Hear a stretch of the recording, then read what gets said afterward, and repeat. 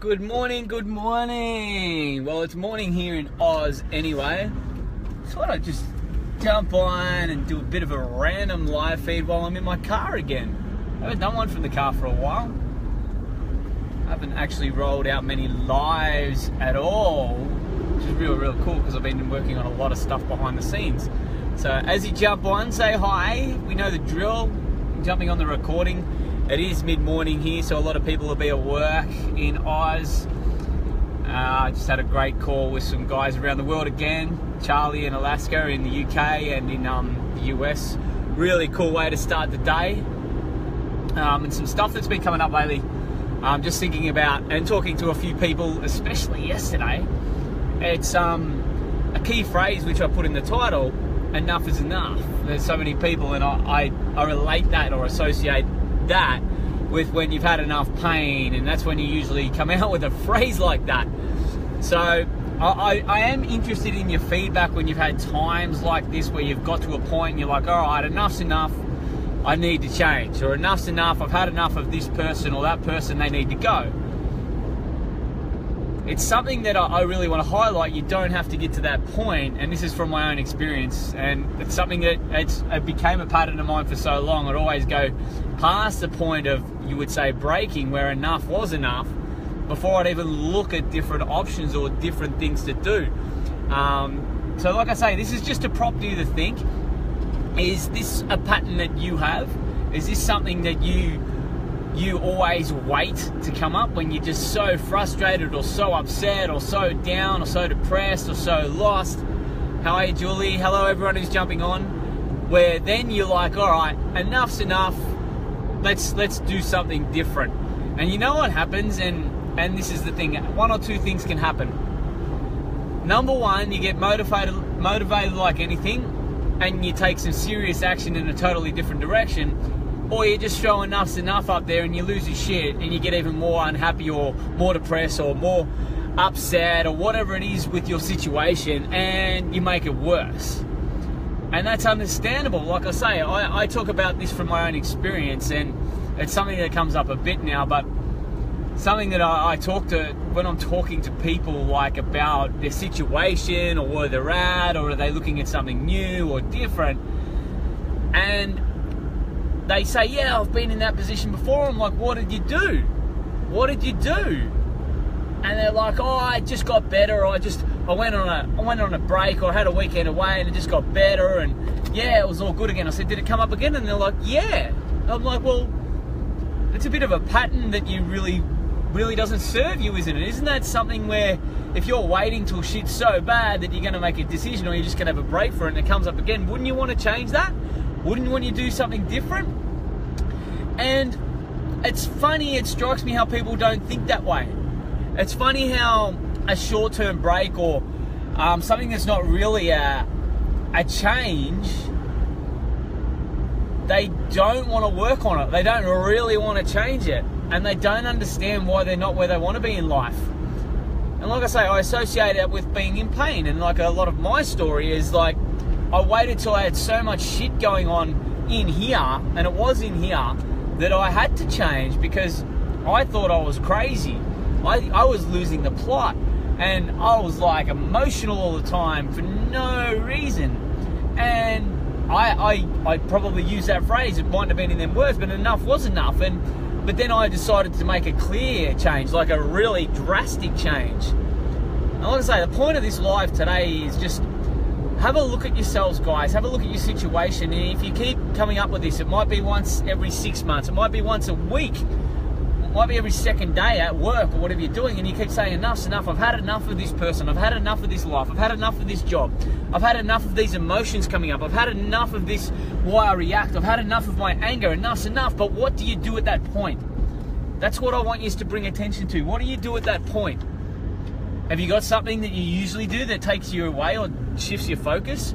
Or have you got something something there that has worked in the past but you're too afraid to do it again or it was such a drastic change that people might judge you? So many different angles that you can look at this guys. So many different angles and it's like I say it's if you're not asking the questions, if you're not asking questions of your situation or yourself, what are you doing? It's like, really, what are you doing? You, you're just existing. You just, you're just, you're dealing with mediocre and you're accepting it. I don't find that acceptable. Like I say, I'm, I'm not someone who's always making change. I've got fears come up. I've got, I've got things that worry me that that hold me back. I've got, I've got stuff that comes up. If I need to make a drastic change, well, that little voice comes up in my head and it's, oh, oh shit, dude, this is probably too drastic. I don't think you want to do this. But what I found is I go back to it. I had a lot of emotional stuff. I had a lot of anger. All this built up inside.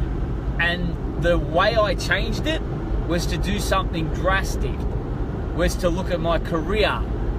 Not from a money sense, guys. I want you to get this clear. Um, I'd love to get some feedback on this too it wasn't a change for the money because I was making bloody good money. I had to make a drastic change in, in my environment. I had to make a drastic change in the way I looked at life. I, I, uh, on an emotional level, I had to do personal work. So I sacrificed the money, which is backwards for a lot of people. A lot of you people out there, and a lot of people I talk to are in a job they don't like and they're not earning enough money. So the change they want to make is to make more money. Me, I had to make a change to work on my personal shit. And you know what? If you had a look at your situation, if you are in that place you don't like and it's related to money, it's not the money situation that you need to work on, guys. It's your personal growth. It's what's going on in here and in here that you need to work on. You need to find what you're good at. You need to, to learn to trust your, your heart again or follow your heart again. That's where the change comes. And that's what people are so afraid of. That's what the drastic measure you have to take, or the drastic change, is notice that it's not the income you're earning that is holding you back. It's the shit that goes on in your inner world that keeps you in a place that doesn't make you happy, that doesn't give you fulfillment, that is holding you back. So I always ask myself, I'm like, how can I highlight this to people more? Or how can I help people with this more to see that? And you know what? I can't.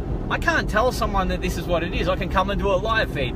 I can get on a call on him. But I can't say, hey, it's not the job you're in, because people, you, you get closed off out there when it looks at other opportunities like, no, that's this or that's that. You just want to make money off me. No. Guess what? If you're in a job you don't like, it's nothing to do with what you're earning. It's nothing to do with all that stuff. It's why you're keeping yourself there. It's because you're fucking scared to do something totally different that actually might be what you truly want to do deep inside. And you won't tap into that because you won't take the risk of doing the personal work. I hope you've caught on that. I went on a bit of a roll there. That just came from somewhere else. Hello to everyone who's jumping on. It's like a mid-morning drive live feed into sunny Cairns. It's a beautiful day here at the moment too.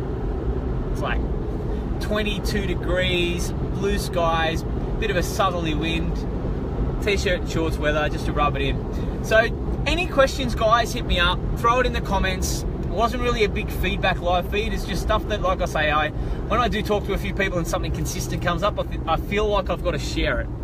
I feel like I do. So just to recap, if you're in a place in life you're not happy with, and I've related it to the income you're earning or the money you're earning. Have a look at that. Yes, you, you want to find somewhere where you're going to earn more income and all that sort of stuff. Yeah, that's cool. That's okay. Of course you do. But if you really have a look at your situation, ask yourself why you're keeping yourself there. What have you got to work on personally to be able to make decisions or change to trust yourself more? It is a terrific winter's day here, Aaron. It is fantastic. So that's the question I'd be asking guys. If you're not where you want to be in life, any area, don't look at the external. Don't say, fuck, I'm just not getting paid enough because I'm not in the job I like. Like I say, that makes sense. But look at the internal work you've got to do to get into that place you want to be. Then you have a look at, all right, I've worked on the external world. I trust myself more. I've got more confidence. I've built up that. I'm listening to my intuition more. I'm taking, making choices based on the first voice I hear or, or what I'm truly connected with or aligned with. Then you have a look at, all right, now that I trust myself more, what big decisions can I make to change my career? What big decisions can I make to change my environment? What big decisions can I make to to move away from the family that bring me down all the time or the the circle of friends that bring me down. Then you can do that. So it all comes back to you internally. Everything comes back to internally. Your your exterior world is just simply a reflection of your internal world. So if you're not getting paid enough, guess what? You don't value yourself enough. It's as simple as that. Like I say, this is what I've done a lot of work on. I continue to do a lot of work on. It's something that's really, really big in our five week intuitive breakthroughs program. Simple as that. Trusting your intuition more, trusting that, getting the breakthroughs on your internal world, because that's where change happens. Change doesn't happen out here, guys. Doesn't happen out here. Happens in here without you really even knowing it until you see the physical appearance of it or the physical result of it in the external world. How are you, Belinda? I'm to get going now because I can talk about this stuff all day and I'm not here just to talk. I'm here to just make you think, here to make you ask yourself questions and have a look at where you're at and then make some change. Change is cool. All right, road's getting bumpy. Focus on the road. Have an amazing day, guys. I will talk to you next time.